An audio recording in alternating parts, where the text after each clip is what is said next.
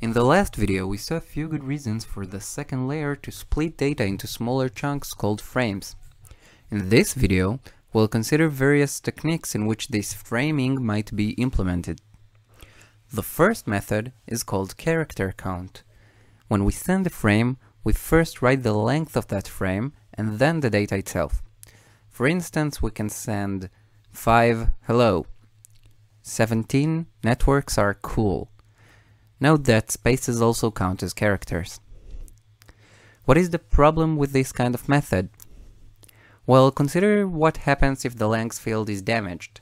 That is, for one reason or another, there was an error, and instead of reading 5 hello, we read 6 hello. Now we have a big problem. We will read 6 characters as data, hello 1, and then we will just read 7 as the length of the next frame, and read network. We'll then try to parse the s as the length value. Apparently, we need a more robust method, one that handles errors in a better way. The next method to consider is called flag byte.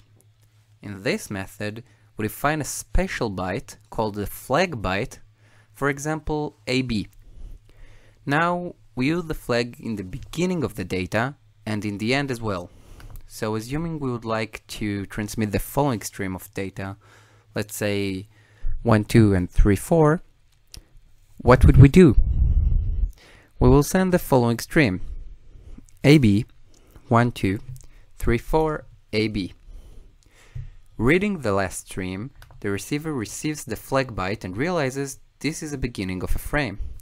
Then, the receiver reads the data until it sees another AB.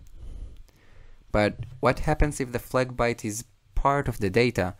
Consider for instance that we would like to send the following stream 1, 2, AB, 3, 4. In this case, we need to use a technique called byte stuffing. For this, we'll need another special byte called the escape character. For example, let's say it equals EC. Now, in order to transmit the above stream of bytes, we will transmit AB, 1, 2, ECAB 34AB. What happens in case we want to transmit the following stream? 1, 2, AB, EC, 3, 4. Note that now the escape character is actually part of the data. That's right, we just add the escape character again, as follows. The receiver view this as follows. First, he receives the flag byte and understands that a new frame has begun. Then, he reads the first byte, a data byte, 1, 2. Okay. Then he reads an escape character and throws it away.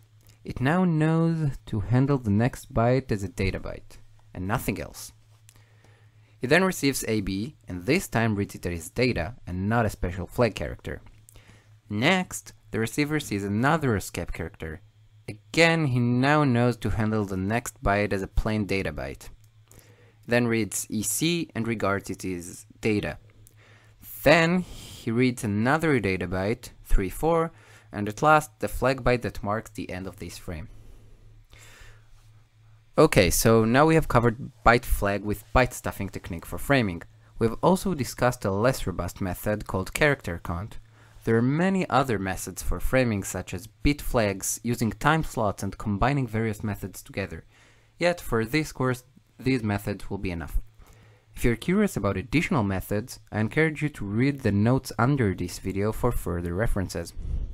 In the next video, we'll learn how the second layer handles transmission errors to ensure reliability of the data. Afterwards, we'll get to know our first actual protocol.